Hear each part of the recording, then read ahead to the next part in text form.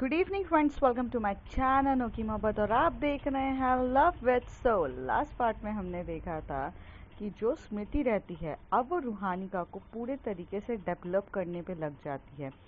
उसको पढ़ाई में भी प्लस उसको स्पोर्ट्स में भी वो उसको बहुत अच्छे से ट्रेन करती है।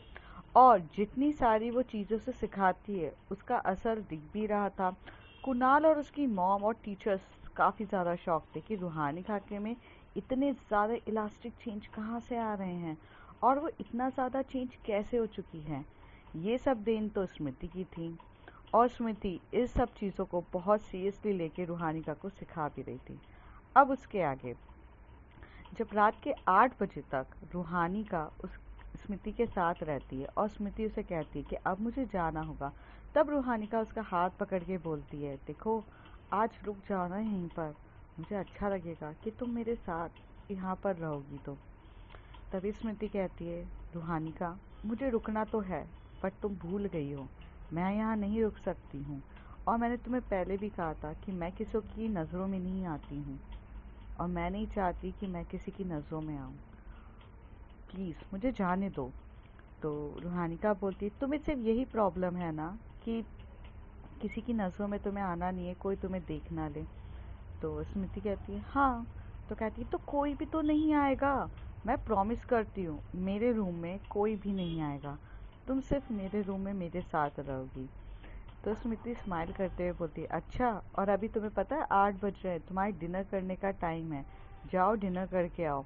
तो वो कहती है हाँ हाँ मैं डिनर करके आती हूँ, और मैं तुम्हारे लिए भी लेकर आ जाऊँगी ऊपर। तुम यहाँ पर डिनर कर लेना। तभी स्मृति कहती नो नो मुझे भूख नहीं लगी है, तुम टेंशन ना लो।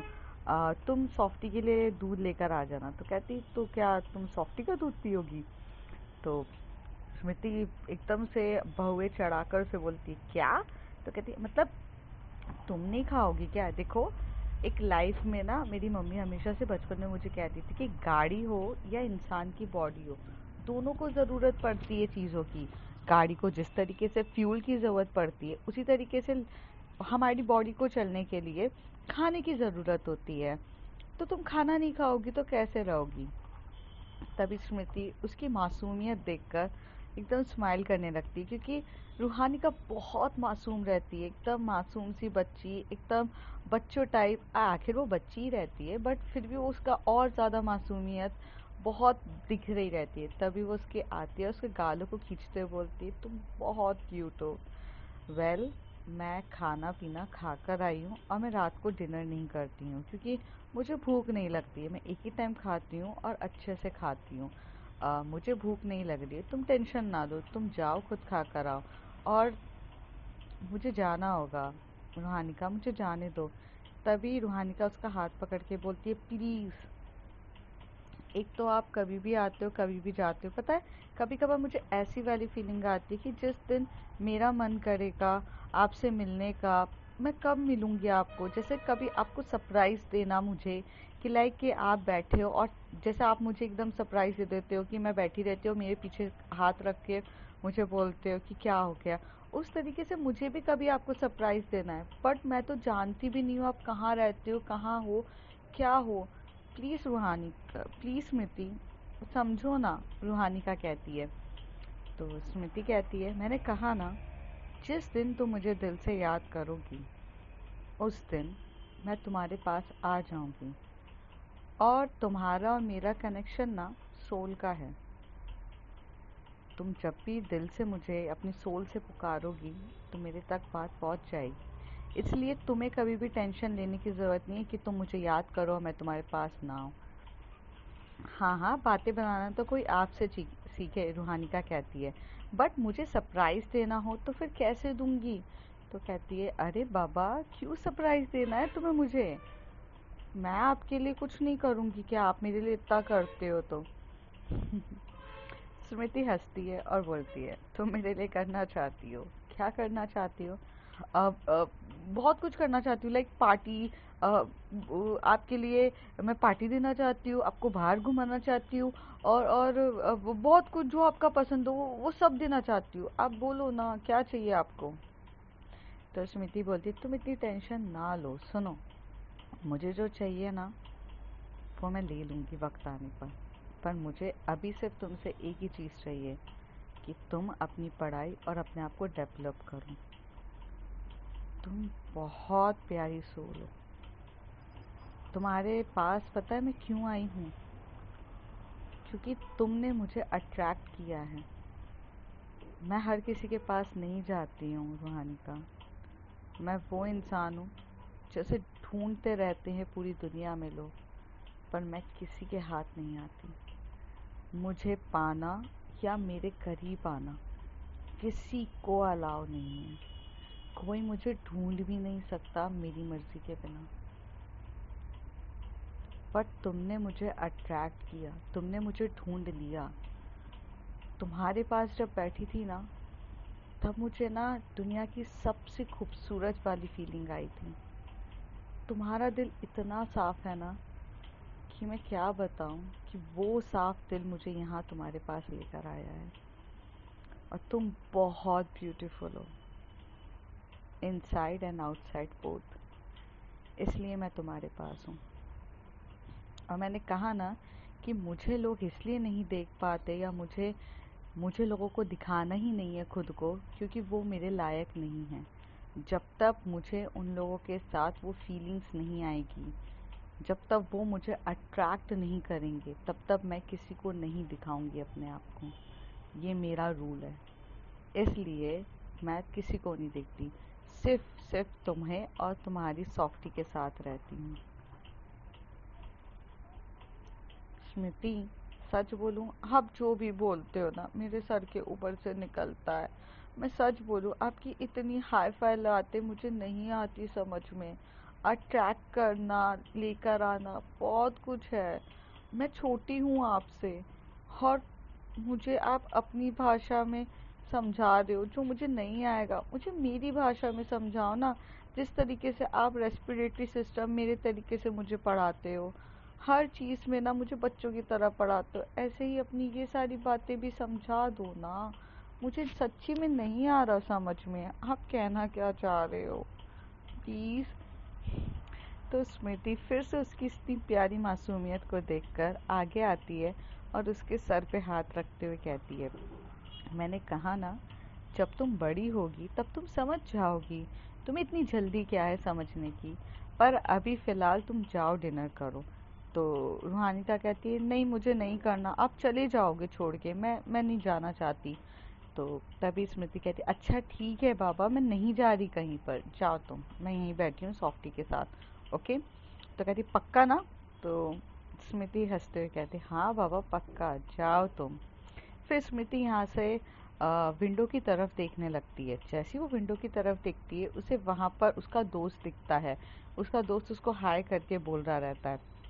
स्मृति भी उसे हाय करती है। उसका दोस्त उसे इशारों में पूछता है कि, क्या तुम्हें आना नहीं है घर? तभी वहाँ पर स्मृति हँसते हुए कहती है कि, नहीं, आज नहीं। कल मॉर्निंग में मैं तुम्हें मिलती हूँ। तो उसका दोस्त उसे बोलता है कि, क्यों? तुम्हें पता है ना, रात को बाहर स्टे करना अलाउ नहीं है। तो वो कहती है कि कभी कभार कुछ रूल्स को तोड़ने का मज़ा ही कुछ और होता है और वो एक सुकून देता है। तो स्मृति अपने दोस्त से सारी बातें इशारों में कह जाती, वो भी इशारों में बात कर रहा था। फिर वो इशारों में कहता है कि मैं ऊपर आऊँ क्या? तो भी स्मृति कहती है, नहीं नहीं, तुम मत आओ, तुम जाओ यहाँ से। तो उसका दोस्त, उसकी बात को सुनकर वहाँ से चला जाता है।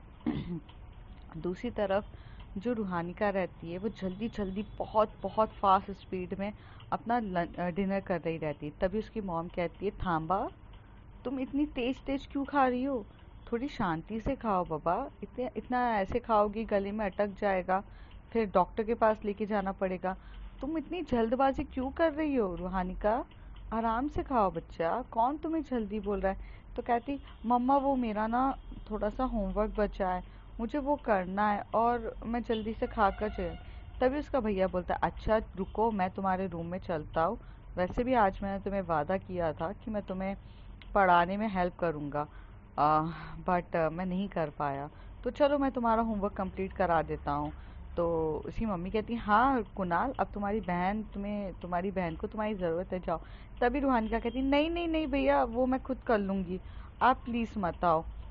तो तो उसकी मम्मी कहती हैं कि, क्यों रूहानी का तुम थोड़ा वियर्ड बिहेव नहीं कर रही हो?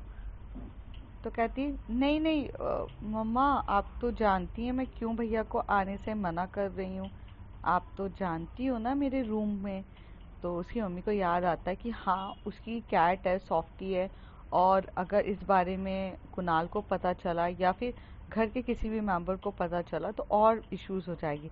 इसलिए उसकी मम्मी भी ये बात पे एग्री हो जाती है, जबकि एक्चुअल में रूहानी का न आने की वजह सिर्फ़ स्मृति थी, क्योंकि स्मृति नहीं चाहती थी कि कोई भी उसके रूम पर आए, सिवाय रूहानी का और सॉफ्टी के अलावा वो किसी को नहीं दिखना चाहती थी। तो तभी उसकी मम्मी कहती कि हाँ हाँ रहने दो, वो खुद कर लेगी, बाद में कुछ होगा तो बता देगी।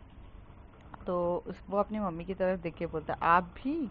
तो वो कहता है कि, अरे बेटा, उसको नहीं आएगा समझ में तो वो तुम्हारे रूम पर आ जाएगी समझने के लिए। क्यों रूहानी का तो रूहानी का स्माइल करते हुए बोलते कि हाँ मम्मा, मैं भैया के रूम में चली जाऊँगी। तो कहते अच्छा ठीक है, चलो आप जल्दी से अपना ख़त्म करो डिनर तो वो फटाफट डिनर ख़त्म करती है, फिर वो अंदर जाती है और एक गिलास में दूध ले लेती है और हाथ में बाउल रहती है। तभी उसका भैया जाते उसको बोलता है रूहानी का तुमने अभी डिनर कंप्लीट किया और अभी तुम दूध पियोगी? तो वो उसकी मम्मी की तरफ़ देख के बोलती है। तभी उसकी मम्मी कहती है, अरे नहीं नहीं, वो दूध तो बाद में पिएगी, पर आजकल वो इतनी आलसी हो गई है कि रात को दूध पीने आती नहीं है, इसलिए वो दूध लेकर जा रही है, वहीं पर पी लेगी। मम्मा, ठंडा हो जाएगा? तो कहती हाँ वो ठंडा पीने की उसको आदत हो गई है। ऐसी है वो, आ जाएगी। तुम टेंशन ना लो, चलो तुम करो डिनर। और कहीं ना कहीं रूहानी का घर की सबसे छोटी थी, और वो प्यार भी उसे सब कुछ करते थे, बट उसका जिस तरीके से पर्सनालिटी थी या उसे चीज़ें समझ में नहीं आती थी तो लोग उसको समझना नहीं चाहते थे, इसलिए कहीं ना कहीं दूर हो रहे थे। पर स्मृति के आने पर, जब स्मृति ने उसके अंदर की वो सारी चीज़ें, खूबियों को बाहर निकालना स्टार्ट किया, जिससे लोग उससे री अट्रैक्ट हो गए, चाहे उसकी मॉम हो या उसके भाई हो, जो उनसे बात तक नहीं करते थे, वो सब बात करना स्टार्ट कर दिए। और स्कूल में भी कहीं ना कहीं रूहानिका की एक अच्छी सी इज़्ज़त भी बनने लग गई थी। तो जैसी रूहानिका होती है, वो फटाफट जाती है और अपने रूम पर और वो कैट के लिए दूध को एक बाउल में डालती है और रख देती है। थोड़ी देर तक रूहानिका इधर उधर देखती है तो उसे स्मृति नहीं दिखती है। फिर रूहानिका को बहुत बुरा लगता है कि लगता है चली गई हैं। तो वहाँ पर जैसी डोर ओपन होता है बाथरूम का और बाथरूम से स्मृति निकलती है। रूहानी का टर्न होके एकदम से स्मृति को हक करती है। इस बार स्मृति को जब उसका हक करती है तो उसके अंदर की बेचैनी, तड़प सब फील होती है स्मृति को। स्मृति थोड़ी देर तक उसे जब टच करके रखती है तो उसकी बेचैन पने को देखती है। यहाँ पर रूहानी का बहुत बेचैन हो रही थी, बहुत ज़्यादा बेचैन हो गई थी। वो स्मृति को एक मिनट भी ना देखे तो बहुत ज़्यादा तड़प रही थी वो। और वो बस उसको थोड़ी देर तक हक करके ही रहती है। यहाँ पर स्मृति भी उसे अपने आप से अलग नहीं करती है, जबकि और टाइटली हक करके उसको कंसोल कर रही रहती है कि मैं कहीं नहीं जा रही हूँ बाबा, मैं तुम्हारे साथ ही हूँ। रूहानिका जब थोड़े पाँच से दस मिनट तक ऐसी रखने के बाद स्मृति धीरे से कहती हैं, छोड़ो भी अब मुझे। तो रूहानिका बोलती है, मन नहीं है। तो कहती अरे पापा छोड़ दो ऐसा अच्छा नहीं लगता है। बार तुम मुझे ऐसे टच करो। तो कहती है ओह सॉरी फिर ऐसी दूर हो जाती है। जैसी दूर होती है उसके बाद थोड़ी देर में जो हमारी सॉफ्टी होती है वो भी दूध वूध पी कर उसका भी सोने का टाइम हो जाता है। तो उसने जो छोटा सा आ, मतलब घर टाइप का बनाया था उसमें वो सॉफ्टी को सुला देते हैं। आ, तो रूहानी का जो रहती है वो बेड पर आराम से लेटी रहती है और उसके बाजू में स्मृति लेटी रहती है। स्मृति और रूहानिका के बीच में डिस्टेंस रहता है। पर पता नहीं क्यों रूहानिका को वो डिस्टेंस अच्छा नहीं लगता है। पर स्मृति हमेशा से थोड़ा दूर उसके साथ बैठती थी। तो रूहानिका जब उसके करीब आती थी, स्मृति थोड़ा और दूर हो जाती थी। जैसी रूहानिका और पास आए, स्मृति और दूर हो जाए। फिर एक टाइम आ जाता है कि जहाँ पर दीवार लग चुकी रहती है। और स्मृति पूरे दीवार के वहाँ पर हो जाती है और रूहानिका और उसे करीब आकर उसे साइड से हक करते हुए बोलती है अब कहाँ जाओगी? तो आ, तब स्मृति कहती है हम्म। तो रूहानिका उसके कंधे पर अपना सर रखी रहती है और जब स्मृति उसको देख रही रहती है तो स्मृति थोड़ा सा डिस्टेंस मेंटेन करना चाहती है। जैसे कि वो जानती है कि इसके आगे बहुत कुछ प्रॉब्लम होने वाली है। पर वो रूहानिका को दूर भी नहीं कर पा रही रहती है। और स्मृति के कंधे पे सर रखते हुए रूहानिका उससे दुनिया भर की बातें करती है। एक कॉमिक बुक रहती है वो उसे ओपन करके वो पढ़ रही रहती है। स्मृति उसको देखे जा रही रहती है और जो रूहानिका रहती है वो कॉमिक पढ़ रही रहती है। पढ़ते पढ़ते दोनों कब आ, मतलब जब दोनों की कब आई कांटेक्ट होता है पता ही नहीं चलता। और जो रूहानिका रहती है, वो स्मृति के जब आई कांटेक्ट देखती है तो उसे अलग सा खो सी जाती है। वो बहुत ज़्यादा सुकून फील करती है। एक अलग सा अट्रैक्शन होने लगता है रूहानिका को। रूहानिका बहुत मासूम रहती है और वो उसको जब देख रही रहती है तो वो बहुत ब्यूटीफुल तरीके से फील कर रही रहती है। उसको बड़ा अच्छा लगने लगता है उसे देखते देखते थोड़ी देर में स्मृति अपनी नज़रें इधर से हटाती है और धीरे से हाथ को थपथपा के उसे बोलती है, सो जाओ, रात हो गई है। तो वो अपनी कॉमिक बुक को साइड में रखती है रूहानी का और स्मृति के कंधे पर ही सर रख कर सो जाती है। स्मृति कहती है, रूहानी का बेड बहुत बड़ा है, आप इधर जाकर सो जाओ। तो कहती नहीं नहीं, जो सुकून मुझे यहाँ कंधे पे मिलता है, वो कहीं नहीं मिलता, मुझे ऐसे ही सोना है। तभी स्मृति कहती है, देखिए, आप उधर सो जाइए, मुझसे ऐसे चिपको मत। तो कहती नहीं मुझे चिपकना है। स्मृति बोलती प्लीज़। रूहानिका को लगता है कि अगर वो नहीं मानेगी तो स्मृति गुस्सा हो जाएगी इसलिए वो थोड़ा दूर होती है। पर वो हाथ नहीं छोड़ती है। एक मिनट भी स्मृति का हाथ नहीं छोड़ती उसका हाथ को पकड़ के वो सो जाती है। थोड़ी देर में आ, रात को सोती है। जब वो सो रहे रहते हैं तो स्मृति को तो नींद आती ही नहीं है। स्मृति इधर उधर देख रही रहती है। जैसे वो लेटते हुए भी बहुत गंभीर सोच में डूबी हुई है। जैसे वो सोच रही है कि इसके कॉन्सिक्वेंसेस होंगे क्या? क्या स्मृति और रूहानिका का इस तरीके से मिलना सही है? या क्या हो रहा है? वो बहुत सोच रही रहती है। थोड़ी देर में जो रूहानिका रहती है, वो और करीब आकर पूरे तरीके से स्मृति के ऊपर चढ़ जाती है। अपना जो लेग रहता है, वो स्मृति के ऊपर रख देती है। और अपने हाथ से उसे और टाइट कर लेती है। स्मृति देखती है तो स्मृति रूहानिका की इतना क्यूट मासूम सा चेहरा देखे बिना रह ही नहीं पाती है। वो भी उसे हक करती है और उसे अपने सुला देती है। तब स्मृति भी अपनी आँखें बंद करके सोने की कोशिश करती है। ऐसी पूरी रात बीत जाती है। जब सुबह होती है तो रूहानिका उठती है तो वो देखती है कि स्मृति नहीं है। और स्मृति का एक नोट वो वहाँ पर देखती है। वो नोट ये रहता है get ready and go to school I will meet you at evening तो फिर रूहानिका बोलती, ये क्या बात हुई? सुबह बिन से गुड मॉर्निंग बोले बिना ही चली गई। ये तो अच्छी बात नहीं है ना? पर वो मेरे साथ रात भर रुकी, यही काफ़ी है। और मैं कैसे भूल सकती हूँ? उनकी भी फैमिली है। और वो मुझसे इतने अच्छे से मिलती हैं, झुलती हैं। ये काफ़ी है ना। मैं भी कुछ ज़्यादा डिमांड कर देती हूँ कभी कभार that is not good actually या समझना चाहिए मुझको भी। मैं भी कितनी बड़ी स्टूपिड हूँ। चलो मैं जाती हूँ। उठ जाती हूँ, नहा लेती हूँ। और ऐसे कह के रूहानी का उठ जाती है और नहाने चली जाती है। नहाते टाइम वो सॉफ्टी को भी नहलाती है और उसको भी नहलाकर बिठाती है और यहाँ पे रेडी हो जाती है, वो अपनी ड्रेस व्रेस लेती है और नीचे की तरफ़ चली जाती है। उसकी मॉम कहती हैं कि तुमने सब कुछ तैयारी कर ली स्कूल के लिए? तो कहती हैं हाँ। फिर नेक्स्ट डे सॉरी फिर थोड़ी देर के बाद वो स्कूल की तरफ़ चले जाते हैं। जैसे वो स्कूल की तरफ़ जाते हैं तो रूहानिका की नज़रें पूरे रास्ते भर स्मृति को ढूंढ रही रहती है। जैसे कि उसका मन करता है कि स्मृति एक बार उसे दिख जाए। और वो इतने दिल से याद कर रही रहती है कि जब काका उसे चार बातें पूछ रहे रहते हैं, बेटा, क्या हुआ? क्या नहीं हुआ? वो काका की बातों को सुन ही नहीं रही रहती, जैसे वो अंदर से बार बार स्मृति स्मृति पुकार रही है। और वहाँ पर वो काका क्या बोल रहे हैं, काका क्या समझा रहे हैं, उसे कोई फ़र्क नहीं पड़ता। स्कूल की तरफ़ वो जब पूरे तरीके से पहुँच जाती है, जब उतरती है, तब परी उसके पास आकर बोलती है कि रूहानी का तूने हिंदी और संस्कृत का सब्जेक्ट का किया? तो कहती है मैंने पढ़ाई की है। तो कहती मुझे कॉपी दे दे अपनी। तो रूहानी का अपनी कॉपी दे देती है और वहीं पर परी जाके एक कोने पे बैठ के ना वो फटाफट कंप्लीट कर रही रहती है।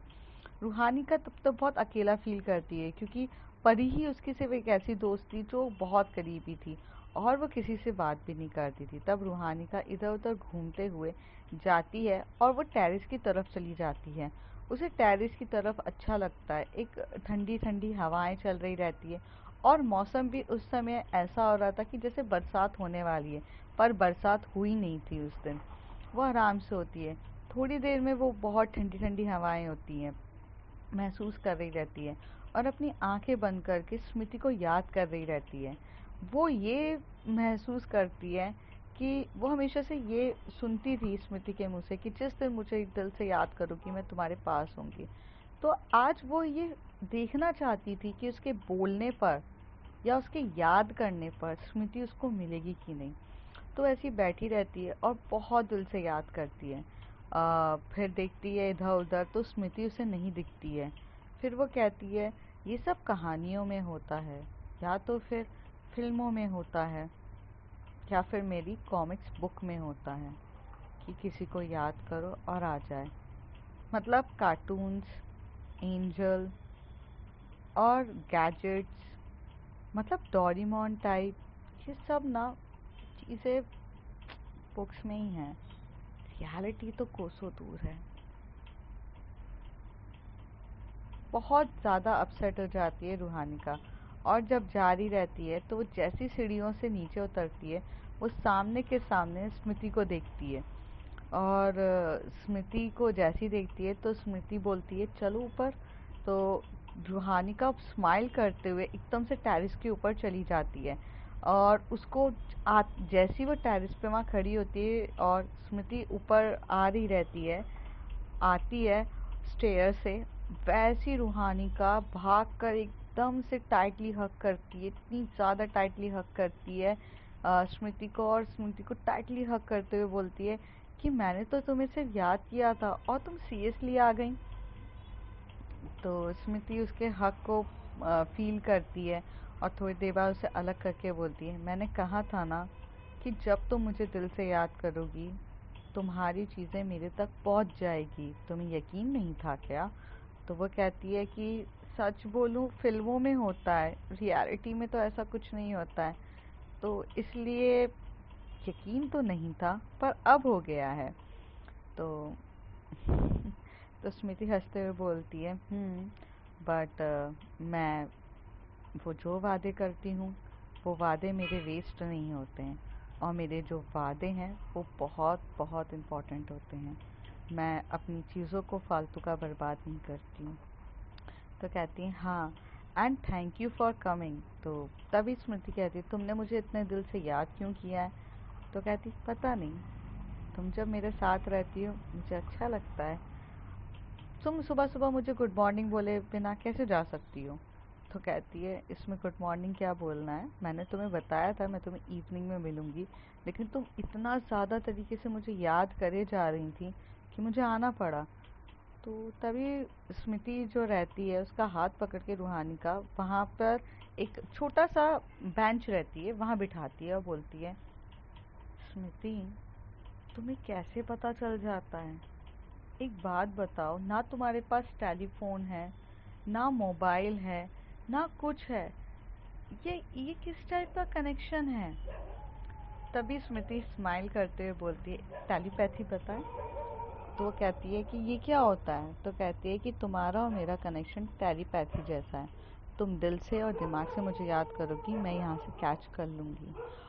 टेलीपैथी उन लोगों को ही समझ में आती है, जो लोग का फोकस या जिसका मेडिटेशन बहुत ज़्यादा स्ट्रांग होता है।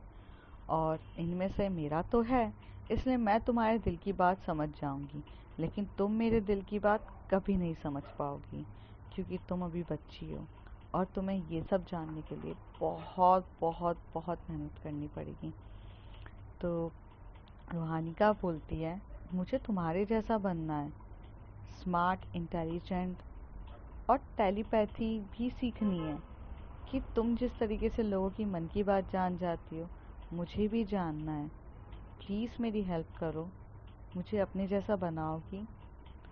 तभी स्मृति एकदम से खड़े होकर बोलती है, रूहानी का, सबकी अपनी अपनी अलग आइडेंटिटी होती है। सबकी अपनी खुद का अस्तित्व होता है।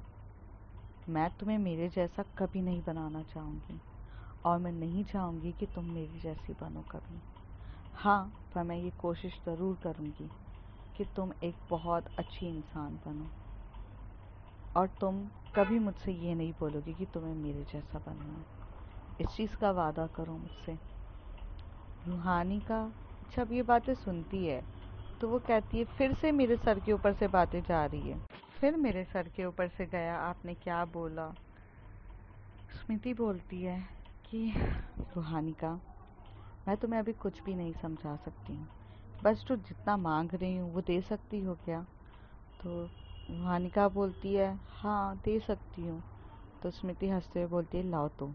और वो अपना हाथ आगे बढ़ाती है। तभी रूहानी का उसके हाथ में हाथ रखते हुए बोलती है, पक्का दिया। तो कहती है, ओके, चलो अब मुझे जाना होगा, तुम जाओ क्लास में और पढ़ाई करो अच्छे से। ये बोलकर स्मृति वहाँ से जा रही रहती है, पर उसके जाने से पहले वो बोलती है रूहानिका को कि तुम क्लास में जाओ, तुम लेट हो जाओगी, जल्दी जाओ। तो रूहानिका बोलती साथ में चलो ना? तो कहती नहीं, साथ में कभी नहीं जा सकते तुम्हें मैंने पहले ही बोला है, मुझे किसी के सामने आना पसंद नहीं है। जाओ रूहानी का। और ऐसे बोलकर स्मृति जब ये बोलती है तो रूहानिका को समझ में आता है कि वो बहुत बहुत ज़्यादा यू नो सीरियस होके बोल रही है। रूहानिका भी ज़्यादा आर्ग्यू नहीं करना पसंद करती है चुपचाप वहाँ से चली जाती है। जैसी वहाँ से जाती है, अब देखते फ्रेंड्स आगे क्या होता है। और ऐसा क्या कनेक्शन है भाई कि स्मृति को अगर याद करें रूहानी का और स्मृति तुरंत आ जाए। आप सबके मन में भी बहुत सारे सवाल जवाब हो रहे होंगे कि ऐसा क्या कनेक्शन है और ऐसा क्या है। मेरे साथ बने रहिए अगले कुछ एपिसोड्स में जानने के लिए। तब तक के लिए bye bye take care and good night